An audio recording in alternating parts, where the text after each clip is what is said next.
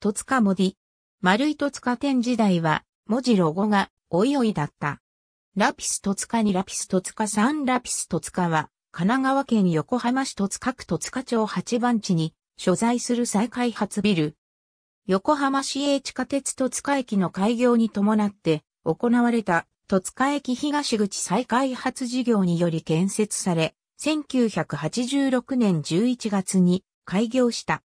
ラピス1.23の3棟の再開発ビルがペデストリアンデッキで JR 東海道線、横須賀線、横浜市営地下鉄戸塚駅東口と結ばれ、ラピス3ビルの前は戸塚駅東口バスターミナルとなっている。キーテナントはラピス1ビルに入居する戸塚モディで、開業当初は丸い戸塚店であった。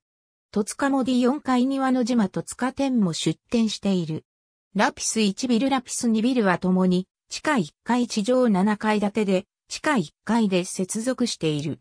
入居する店舗で戸塚駅東口ラピス商店会を構成しており、モディ以外のテナントは学習塾や飲食店がメインとなっている。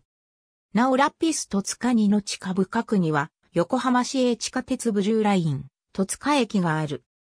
当初は、この位置に駅が建設される予定ではなかったが、柏川沿いの軟弱な地盤と西口、再開発事業の難航により地下鉄戸塚駅の建設に着手することができず、隣の前岡駅までの先行開業という事態になってしまった。そこで駅の位置が変更され、国鉄戸塚駅の直下、東口バスターミナルと、その延長線上のラピス戸塚にに地下鉄駅が設置されることになった。